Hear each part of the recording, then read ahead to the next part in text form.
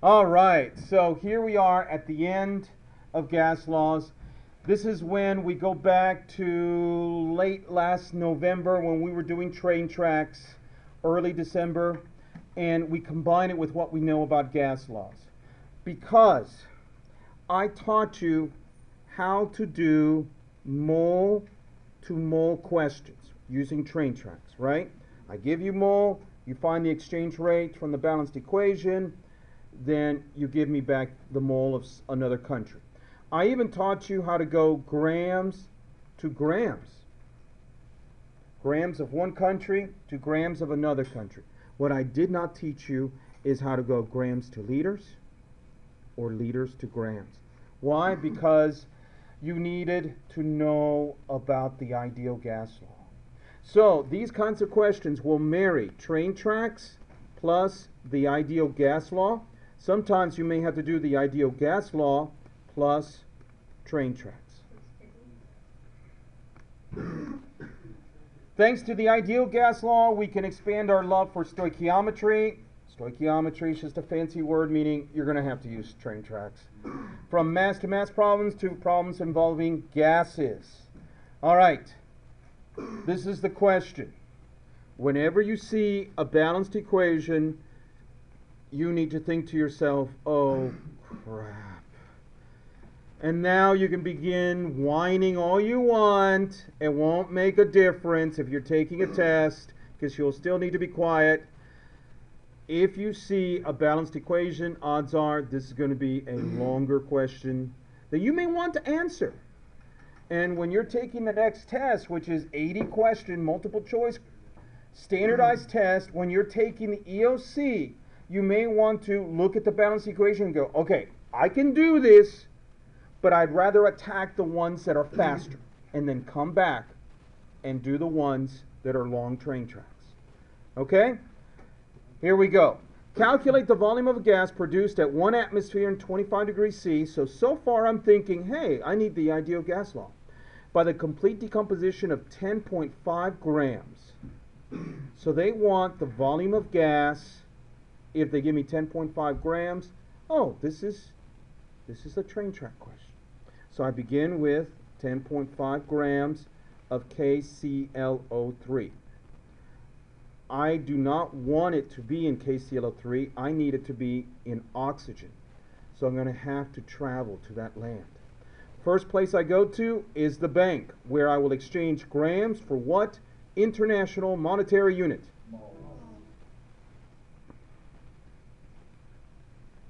And the bank will always issue me how many moles for how many grams?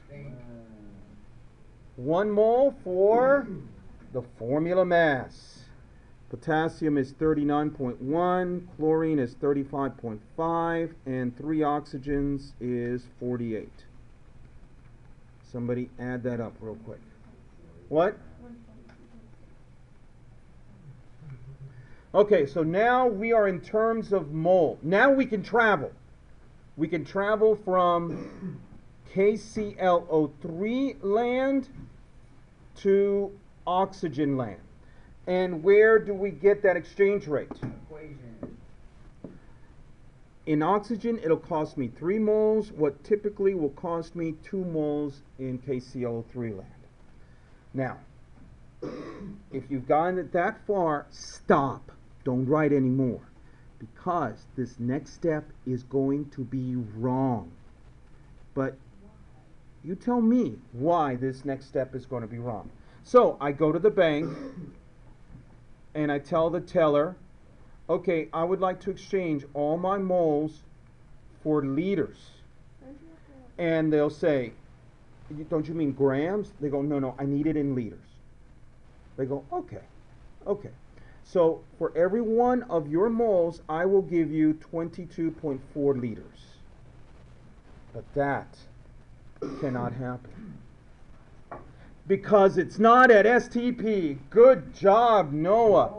It is at SP, standard pressure, but it is not at standard temperature, which is zero. So I cannot use our magic number 22.4 now. That's it. I'm stuck. I am stuck at this point. Can I convert to N to moles? Yes. 10.5 divided by 122.6 enter times 3 enter divided by 2 enter.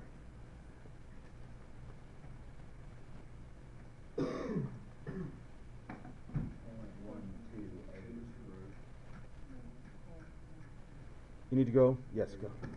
Okay, so we're stuck. I need leaders. But all I got was moles.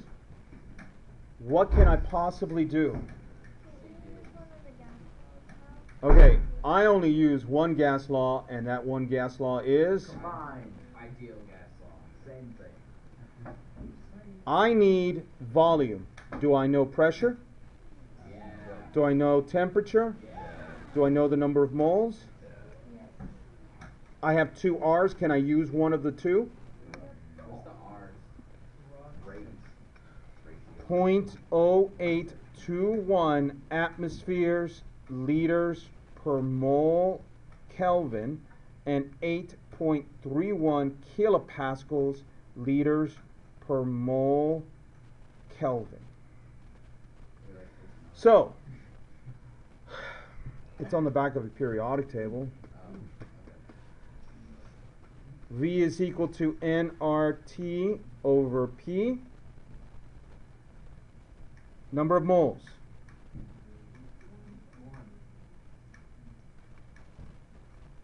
Can we use an R? Which R?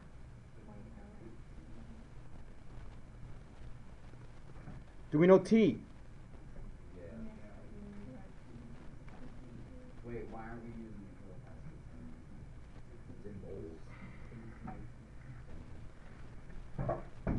Do you see why?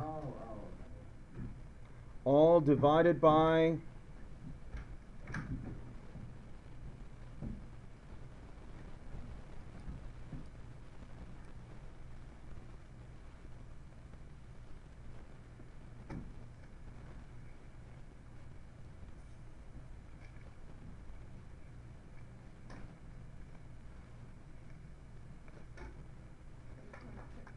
What is it?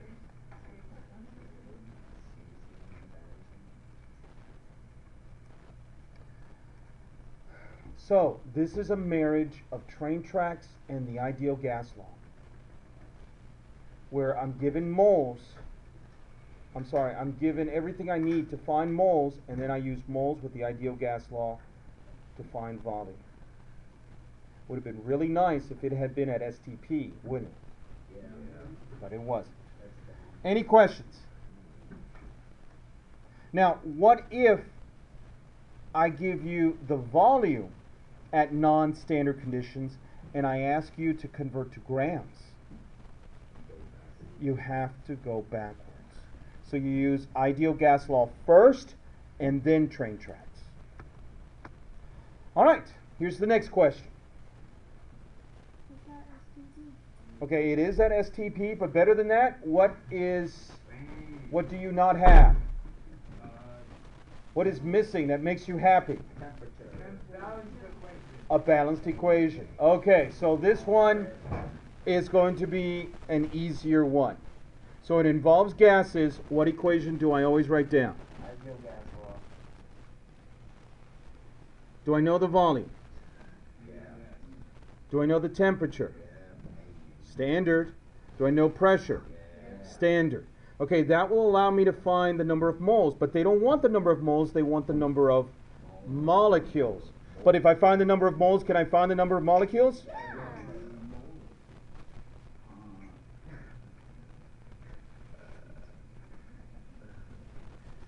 What is standard pressure? Standard volume. No, not standard volume. They gave us the volume. Which R should we use? Uh, the AC number. And the temperature is?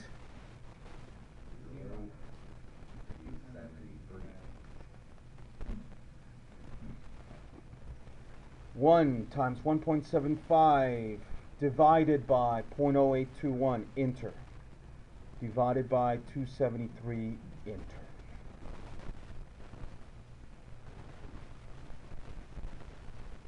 Five eight one I don't think so. What is it? Can I get that confirmed?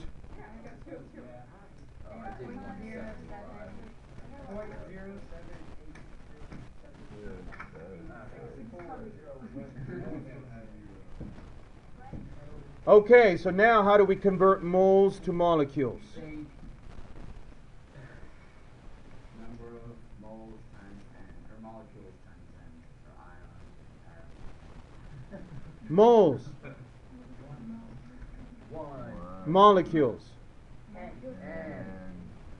So 0.0788 times Avogadro's number.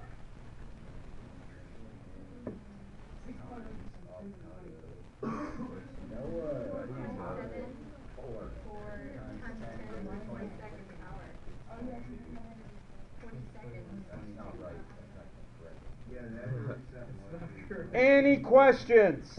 Yes, Oh, why could we not use the twenty-two point four method? because you did not have 6.02 times 10 to the 23rd. I knew that I did not have 6.02 times 10 to the 23rd because I had 1.75 liters. If they had given me 22.4 liters, then I would have said, oh, I don't even have to work this out. It is Avogadro's number. But it was going to be just a tiny fraction of Avogadro's number because I didn't have 22.4. Now, Maxine, this is what you're expecting. First of all, what do you see that makes you go, oh? All right, sorry. Calculate the volume of CO2 at. Standard temperature pressure. Okay, so now what can we use that we were not allowed to use with the first equation? Sig 22.4. Here we go 152 grams of calcium carbonate. We go to the bank, we say, hey, we would like to exchange calcium carbonate for moles. The bank always says, okay, for one mole we'll give you. Okay, you're going to have to figure that one out. Then I go to the exchange rate to see how much it's going to cost me to live in carbon dioxide land. And that exchange rate is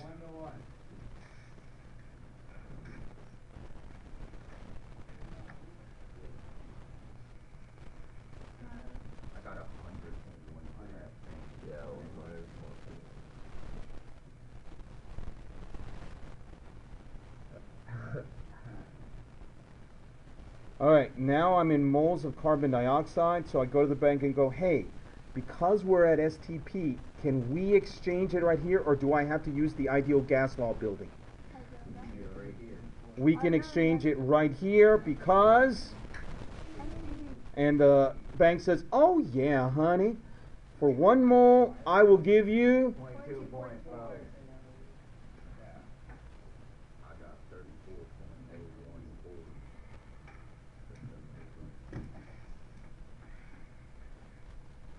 Yeah. Because it's. This is a little bit more than one. So, yeah, what is it, 30?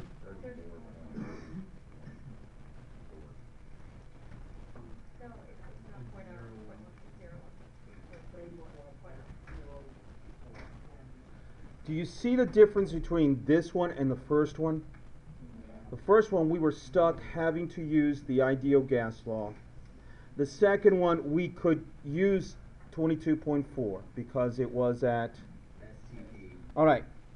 Let me give you the balanced equation. You figure out which way you have to do this one.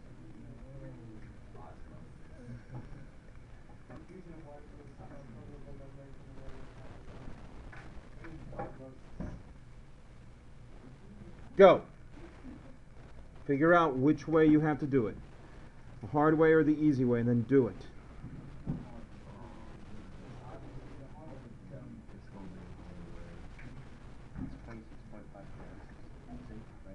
Yes, I'm sorry, it's twenty-six point five grams of zinc.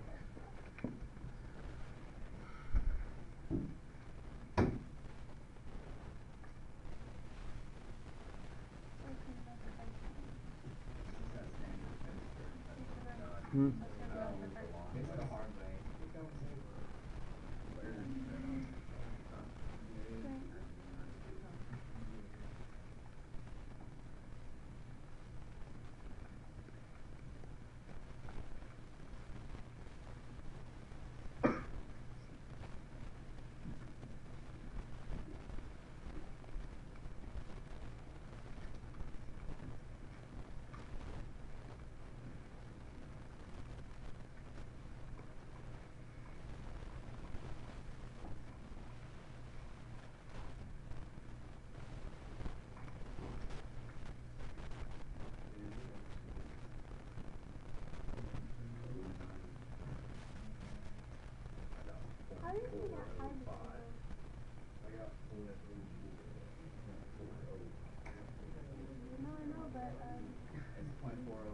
How do you know, what to get remember, What? When, you're doing like the how do you know to get?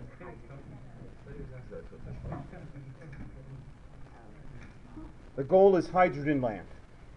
All right, what's the number of moles?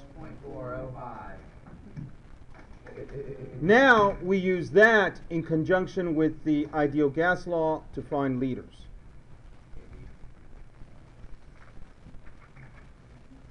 How do you know the weight?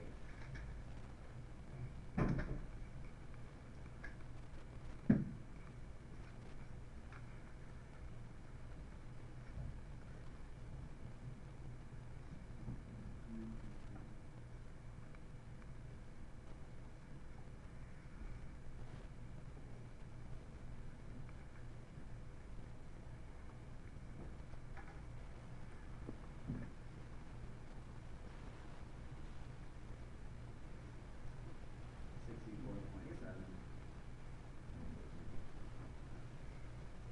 No.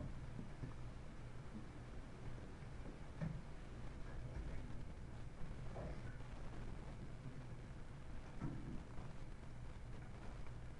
right. I that right? Sixty-four point seven?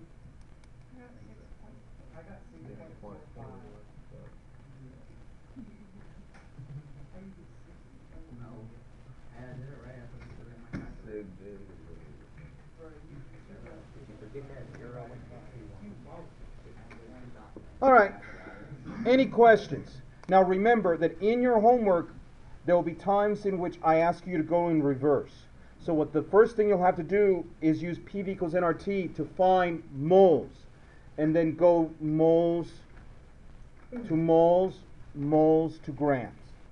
So it's this only in reverse order.